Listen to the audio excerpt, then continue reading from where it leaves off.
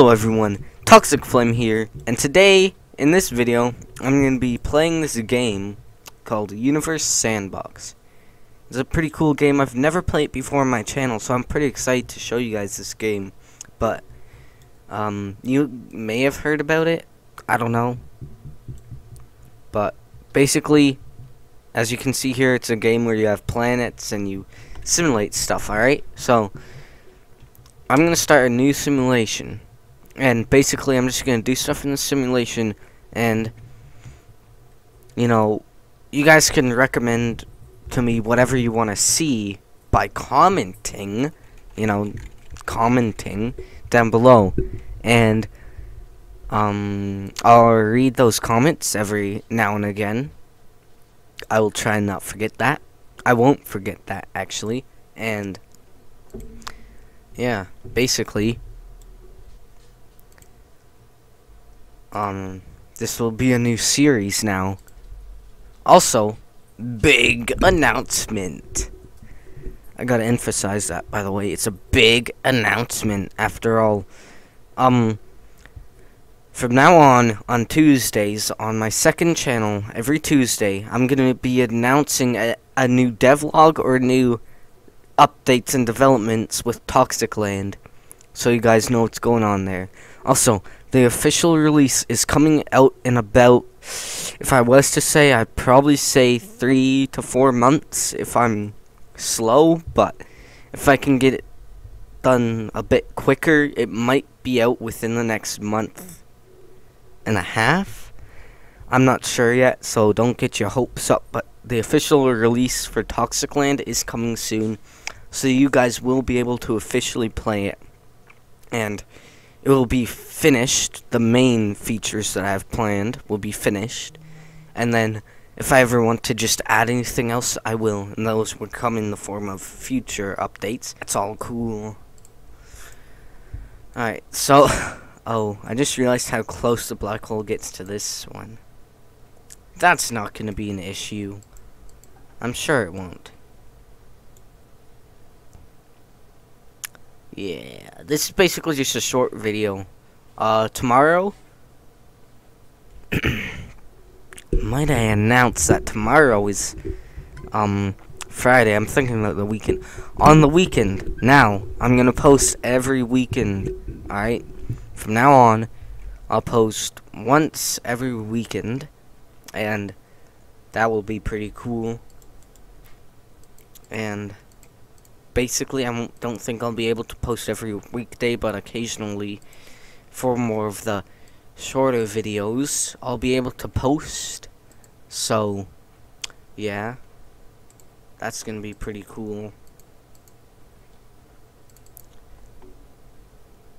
And uh, basically, I'm just gonna make this, save it, see what happens, and then we'll move on to the next part of the video. Um, why won't that orbit around? It's probably gonna orbit around the black hole. Yeah. Just as suspected. That's the only planet I can add around this star. Other planet. Unless I make it further away. Yeah. Like that. Alright, cool.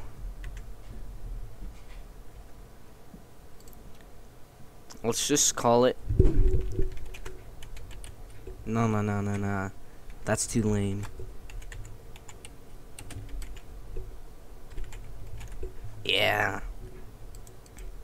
Although it's not really a copy, because last time I checked, our solar system doesn't have a black hole and another star orbiting around it. And it also doesn't have two dwarf planets as in like inner planets.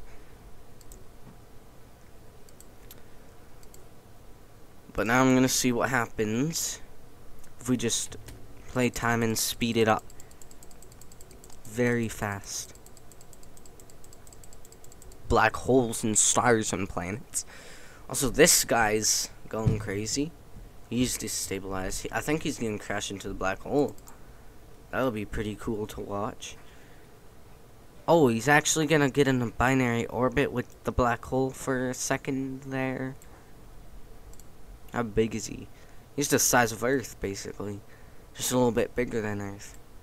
And right now it says that they're kind of... Uh...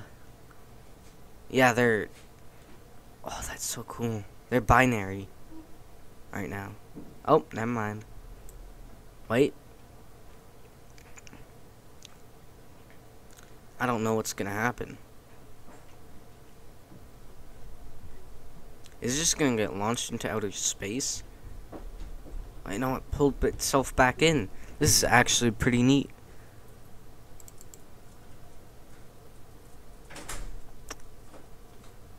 Uh, okay, it looks like he's gone. There's nothing else to see. What happened to the plants around here? Are they still there? Crazy solar flares. Holy. Alright, they're pretty unstabilized, but they haven't crashed yet, which is a good sign, unless they have. That one looks like it actually has life. That one looks like it actually doesn't have life, and that one also looks like it doesn't have life. Alright. This black hole is still being... No, never mind, it's orbiting. However you pronounce that like Anna or something. we click on it. We click. Nope. It's not gonna get pulled by the other planets. It's gonna be still. It's not gonna move. And everything else looks good. Then we can unpause the simulation and see what happens. Does anything survive? Nothing does. It's just like nothing wants to actually go inside Venus. I mean, not Venus. Inside Betelgeuse right now, and I don't know why.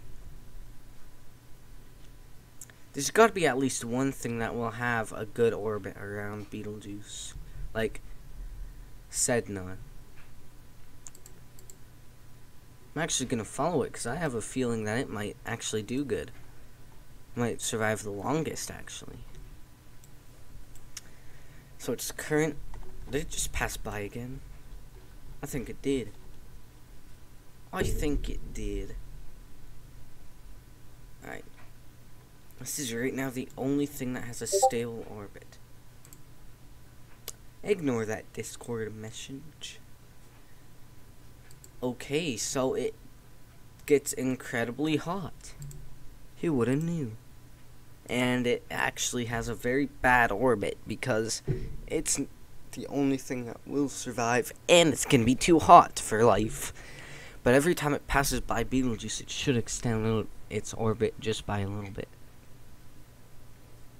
Look at how hot that gets. It gets thousands of degrees and then instantly cools. That's crazy. But, alright guys, that's gonna be uh, the end of this video. I can't speak today, but hope you guys enjoyed.